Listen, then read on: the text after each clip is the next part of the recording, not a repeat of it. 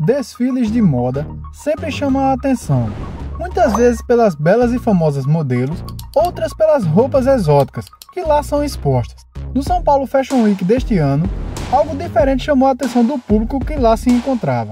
Após a vinheta te conto mais sobre isso.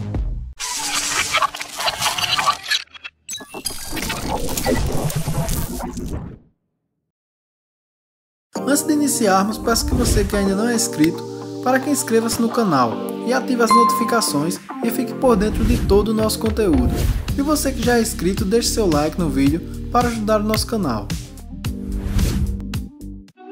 Quatro meses após receber alta do hospital, Luciano Zafi voltou a desfilar na passarela. O ator e apresentador participou do desfile do estilista Valério Araújo, na São Paulo Fashion Week, nesta quinta-feira, dia 18 de novembro, e chamou a atenção ao aparecer com a bolsa de estomia. Zafi faz uso do aparelho médico desde que sofreu complicações após reinfecção pelo coronavírus. O ator ficou mais de um mês internado e foi submetido a uma cirurgia de retirada de hematoma e segmento do colo.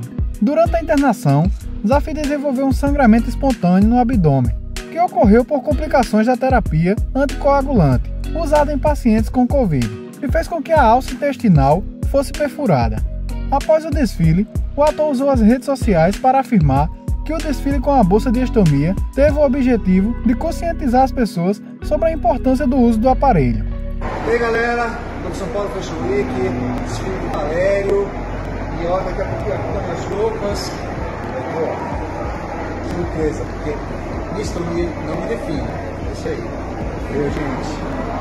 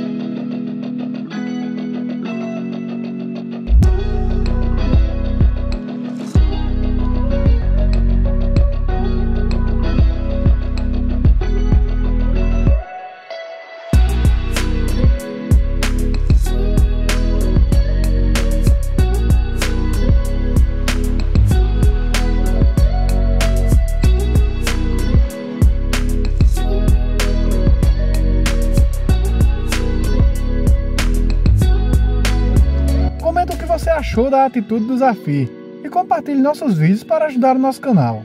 Precisando de flyers para seus eventos, thumb e-mail para seu canal no YouTube, gerenciamento completo de mídias digitais e muito mais, a CT Agency Digital é a solução, com planos e preços que cabem no seu bolso. Siga o Instagram, arroba CT Agency Digital e faça seu orçamento sem compromisso. CT Agency Digital, a qualidade que você precisa.